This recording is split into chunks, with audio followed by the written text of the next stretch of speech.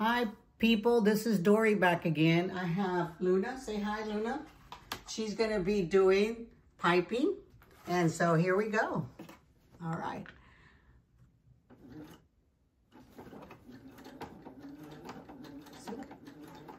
It's okay. You can go. You're doing fine. Not that close. We're doing a cushion and Let's take the little pin out.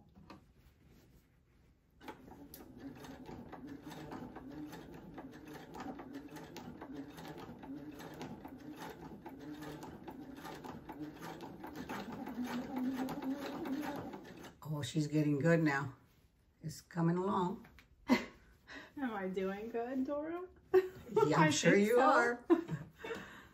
If not, guess what? We can always undo all this and we're just gonna be fine. So the piping is everything turned inside out, pretty much. Everything's going along the way. You're sewing the piping, the back and the front together in a straight line, okay? So we're gonna do that. And then we're gonna go all the way around. We're gonna leave one opening so that we can stuff it. Pretty much, guys, that's how it goes. It's not very hard. You see how she's picking that up? Yeah, it looks. Okay, and it's looking good, and, and, and she's doing fine. You know, and you see how she has some material on the bottom. What do you do with that? Just leave it alone. Don't worry about it too much. It can even be part of your stuffing if you want to. It's not to worry. But remember, I'm giving it some extra material to go inside because you also need some room. You cannot be stretching it straight out because you also need material to be stuffing it. So it has to make a little puff. So always, the you should have some extra material there. Okay, we're gonna put a little stop right now and see what's up. Thank you. Since we have to still. Okay, so Lena, uh, Luna just finished.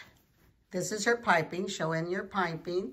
She did the piping. This is it right in here. And of course, she needs to take out some of the little red lines that she has on there. But she did really good. So then she's going to stuff it. And eventually, we're going to do this one.